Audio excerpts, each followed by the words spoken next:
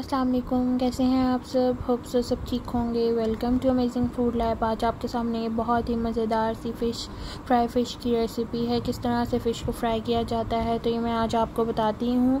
वैसे भी अब सर्दियाँ आ रही हैं तो लोग बहुत शौक़ से फ़िश खाते हैं, लेकिन उनको अक्सर जो है ना फ़िश फ्राई करो तो उसमें स्मेल आ रही होती है. लोग कहते हैं कि स्मेल आ रही है और ये वो अच्छे से वॉश नहीं हुई होती और सही से उसको मैरिनेट नहीं किया जाता, इसलिए जो है वो आज मैं आपको बताती हूँ किस तरह से आप जो है फ़िश को फ्राई करें। बहुत ही मज़ेदार बनेगी। आए चलते हैं इसकी रेसिपी की तरफ़।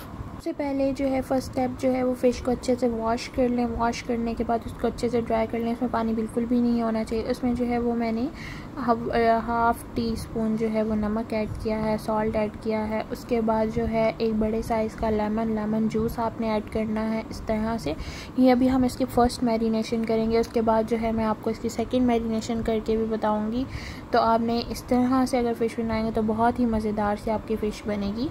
उसके बाद जो है मैंने ब्लेंडर में जो हरी मिर्चें और चार से पाँच जो है वो मतलब कि लहसुन के पीसेस लेकर उनको ब्लेंड कर लिया था और उनका पेस्ट बना के तो मैंने इसमें वो ऐड कर दिया। वो ऐड कर ऐड करने से इसमें बहुत ही अच्छा सा टेस्ट आएगा। इसको आप जो है वो घंटे, दो घंटे के लिए फ्रिज में रख दें और बहुत अच्छे से मैरिनेट हो जाएगी। जब तक फ़िश मैरिनेट हो रही है, उसको हम अच्छे से मसाला बना लेते हैं। मसाला बनाने के लिए सबसे पहले जो है वो मैंने सबसे पहले हमने पिसा हुआ धनिया लिया है, पिसा हुआ ज़ीरा one teaspoon chilli flakes one teaspoon black pepper one teaspoon अजवाइन हाफ़ टी स्पून उसके बाद हल्दी one teaspoon one teaspoon लाल मिर्च और वन हाफ़ टी स्पून गर्म मसाला और ये देखें वन टीस्पून सॉल्ट और वन टीस्पून ही चाट मसाला है। नमक इसलिए मैंने आपको स्टार्टिंग में कहा था कि आपने कम रखना है क्योंकि सेकंड मैरिनेशन में हम इससे सॉल्ट ऐड करेंगे, नमक ऐड करेंगे। उसके बाद हाफ़ कप जो है वो मैदा लिया है और थोड़ा सा बेसन ऐड करना है।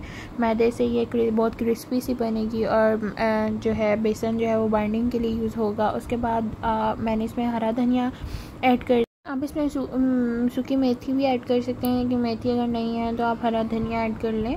हरा धनिया बेस्ट है। उसके बाद जो है फ़िश किस तरह से इसको जो है इसमें डिप करके, इसकी कोटिंग करके अच्छे से तो हम इसको रख देंगे थोड़ी देर के लिए।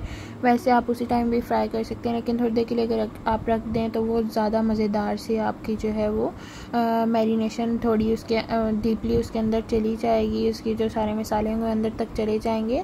तो ये बहुत ही मज़ेदार से हमारी फ़िश रेडी हो गई। उसके बाद आप इसको फ्राई कर लें। इसको इस तरह से मसाला लगा के, इस तरह से मैरिनेट करके आप जो है वो काफ़ी टाइम के लिए फ्रीज़ कर सकते हैं। और आपने इस तरह से जो है वो लो फ्लेम पे लो फ्लेम पे जो है वो इसको फ्राई करना है हाई फ्लेम पे फ्राई नहीं करना। ऑयल को तेज़ गर्म करके तो आप इसको लो फ्लेम पे फ्राई कर लें, आपकी बहुत ही क्रिस्पी सी, मज़ेदार सी फ़िश बनेगी और बहुत ही टेस्टी होगी ये।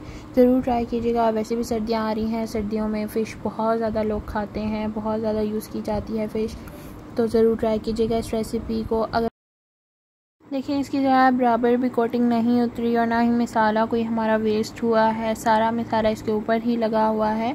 बहुत ही चटपटी सी, मज़ेदार सी हमारी फ़िश रेडी है। अगर आपको ये मेरी रेसिपी पसंद आई हो तो मेरी इस वीडियो को ज़रूर लाइक कमेंट एंड शेयर करें। And please don't forget to subscribe my channel thank you Allah half